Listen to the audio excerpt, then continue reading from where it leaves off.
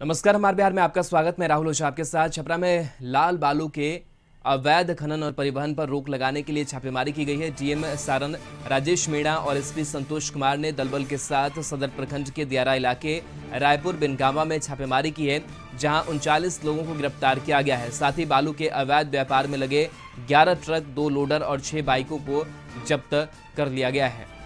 तो छपरा से खबर, जहाँ लाल बालू के अवैध खनन और परिवहन पर रोक लगाने के लिए छापेमारी की गई है। डीएम सारण, राजेश मीणा और एसपी संतोष कुमार ने दलबल के साथ सदर प्रखंड के दियारा इलाके रायपुर बिनगावा में छापेमारी की है, जहाँ से उनचालीस लोगों को गिरफ़्तार किया गया है। साथ ही बालू के अवैध व्यापार में लगे 11 ट्रक, दो लोडर और छह बाइक को जब्त कर लिया गया है। तो छपरा, जहाँ अवैध बालू खनन के मामले लगातार सामने आते हैं, दियारा इलाकों में और इस बार बड़ी कार्रवाई की गई है, बड़ा एक्शन किया गया है। जिला प्रशासन की तरफ़ से मौके से उनचालीस लोगों को गिरफ़्तार किया गया है और उनके साथ साथ छह बाइक को जब्त किया गया है। तो डीएमएसपी के नेतृत्व में दियारा इलाके रायपुर बेनगावा में छापेमारी की गई है, जहाँ से उनचालीस लोगों की गिरफ्तारी जिला प्रशासन ने की है। साथ ही कई गाड़ियों को जब्त किया गया है, छह बाइक भी जब्त की गई है।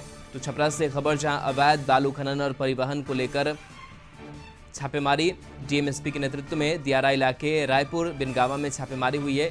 डीएम सारण राजेश मीना और एसपी संतोष कुमार ने दलबल के साथ सदर प्रखंड के दियारा इलाके रायपुर बिनगावा में छापेमारी की है, जहाँ से उनचालीस लोगों को गिरफ़्तार किया गया है। साथ ही बालू के अवैध व्यापार में लगे ग्यारह ट्रक, दो लोडर और छह बाइक को जब्त किया गया है।